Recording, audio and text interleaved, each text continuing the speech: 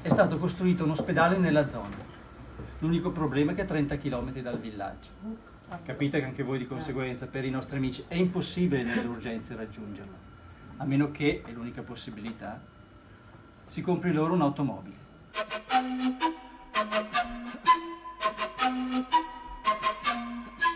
Thank you.